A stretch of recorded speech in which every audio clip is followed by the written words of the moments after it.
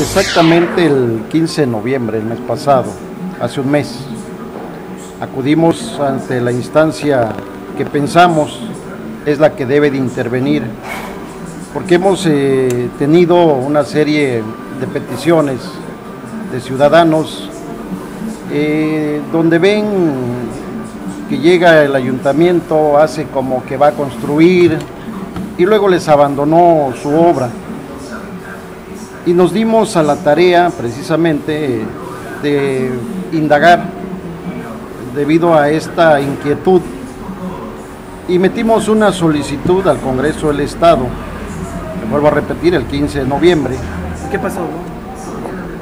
Donde le estamos solicitando su intervención para que vengan a auditar, a supervisar o a checar, a ver qué es lo que está pasando con el municipio de Coatzacoalcos y su presupuesto. Dado que presentó un buen listado de obras a ejecutar en este año 2016 con los recursos que tendría que haber eh, recibido.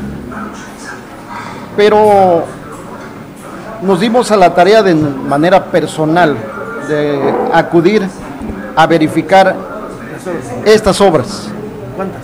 Las cuales recorrimos alrededor de 10 obras en la congregación de Barrillas, en la colonia Lomas de Barrillas, colonia petrolera, eh, Trópico de la Ribera, Calzadas.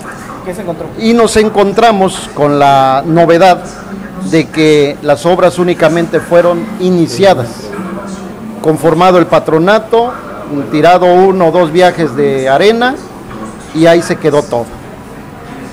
Pero es el caso que en el órgano de fiscalización están reportadas como obras que tienen que ejecutarse y que tienen que haberse estado entregando ya en esta fecha, porque estamos concluyendo el ejercicio fiscal.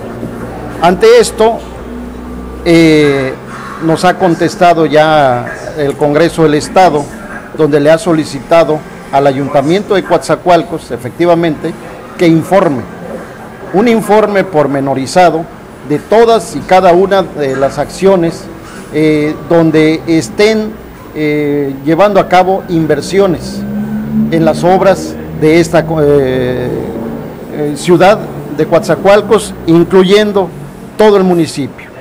Entonces estamos en espera, ya que le dieron 10 días de término, 10 días para que responda a esta petición que se le está haciendo. Entonces estamos en espera, estuve el día martes en el Congreso del Estado, están por determinar, está por el Ayuntamiento de Coatzacoalcos por responder a esta petición y ahí nos estaremos dando cuenta de efectivamente dónde fue canalizado el recurso, el presupuesto 2016 en este municipio.